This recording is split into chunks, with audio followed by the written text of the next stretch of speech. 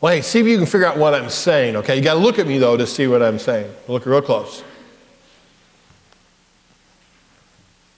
What did I say? You may catch it? Me to do it again? So, what's this? I, right?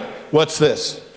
It's like a hug, and you hug people because you love them. So that's love, right? And you, right? So I'm saying, say it with me.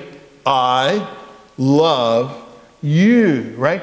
You guys know the song, Jesus Loves Me, right? You know, so how does that go? We say, Jesus loves me, right? Because Jesus, remember him that he was willing to have his hands nailed to his cross, to the cross, and that's how he showed, in that he showed his love for us. He loves me. And we go, we go, do it with me. We go, yes, like this, like we're not going to, everybody do it, do it with me. I would teach this. Yes, Jesus loves me. Or how about this? What does this say? Look at that. I got some great responses this morning. What's this right here?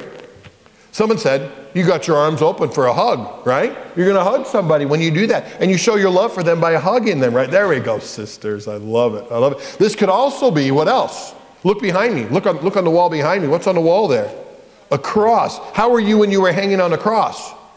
You were like that. And someone said, when they asked Jesus how much he loved us, you know what he said? He said, This much, right? And he's willing to die for us. He's willing to go to the cross for us. Your moms and dads do all kinds of things for you because they love you. How about this? Right? They feed you, right? They give you a place to do what? To lay your head on and things like that. Those are all ways that we show love. And God showed his love for us in that he sent Jesus for us. And, and we thank God for loving us because, because he loves us, he forgives our sins. He's with us all the time. He promises to be faithful. He's got a place prepared for us where? In Heaven, exactly. And we call heaven our home, right? And home is where you get loved. It's where love comes to us. But Jesus says, because we love Him, we should do what? We should love. Say it. We should love everybody. Exactly. Jesus says, you should love one another as I have loved you. So we thank God that He loves us. The Bible says we love because He first loved us. And Jesus was, Jesus said to Peter, she said, He said, Peter, do you love me? And Jesus said, Jesus, I love you.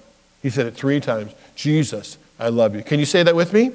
Jesus, I love you. Let's pray and let's ask God's help to do that. Dear God, we know beyond a shadow of a doubt that you love us. You wouldn't have sent Jesus unless you did. Help us to love you and to love each other. In Jesus' name, amen. Okay, you guys can go back.